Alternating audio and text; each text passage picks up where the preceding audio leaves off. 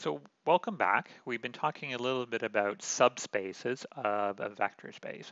And what I want to do now is introduce a kind of a, new uh, um, set, which we've seen in the special case of Rn, and then show that this is an example of a subspace of your vector space.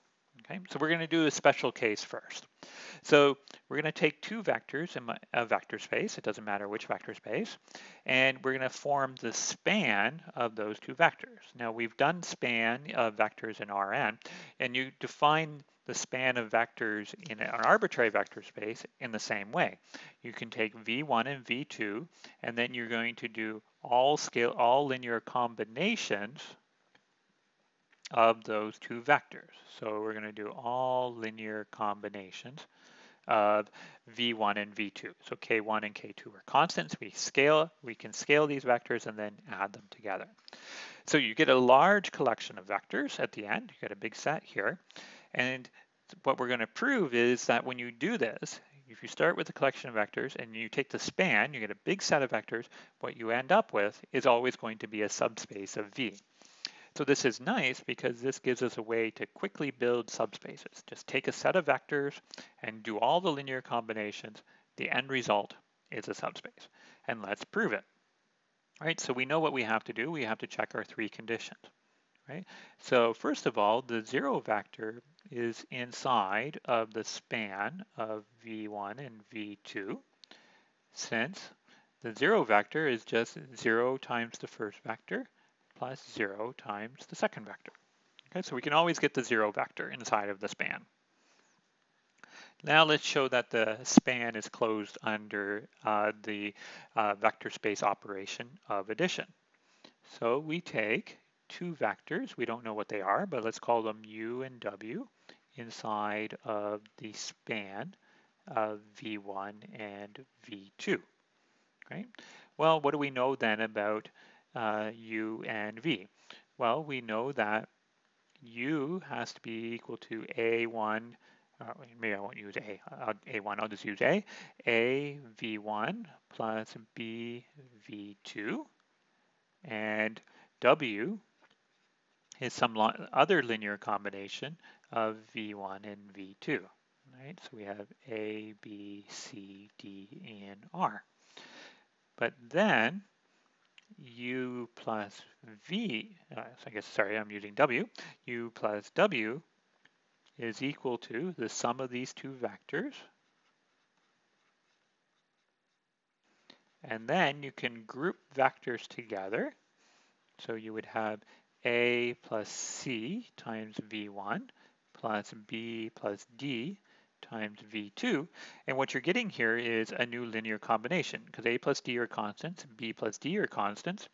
And I feel like I mess, uh, no, that's not a d, that's a c. a plus c is a constant. And so this is a linear combination. So this is inside of the span of v1 and v2.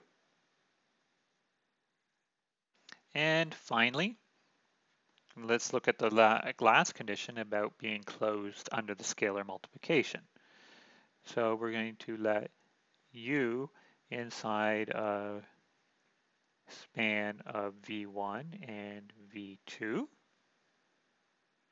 and c inside of r. Right, and then as just repeating what we had above, we know that the vector u is a combination a linear combination of V1 and V2. And then C times U will be equal to CA times V1 plus CB times V2.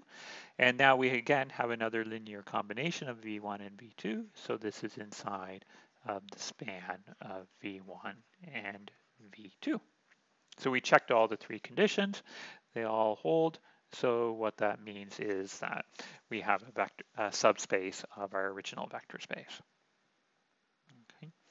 Now, if you stare at this for a second, you notice that we didn't actually use anything special about the number two. Uh, we could have had one vector and the proof will work the same. We could have had like 10 vectors.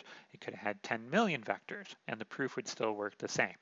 So we do, we have the general case, which is stated right here, if you take uh, any vectors, any set of vectors in V, and you form the spanning set of that set of vectors. So what is that? That is all the linear combinations of these vectors. So C1, C2, V2, up to CP, VP, where each of these Ci's are in R, you get a subspace of your original vector space V. Right? And the proof is all you have to do is generalize the above proof. The reason we're not going to work through all the details is it just becomes a little bit more messy notational wise, but the idea is the same. The zero vector is in there, it's closed under addition, and it's closed under multiplication. So this is very nice because this allows us to start from any vector space, any collection of vectors, and we can build subspaces using the notion of a spanning set. Okay. And we want to add some terminology here before we move on.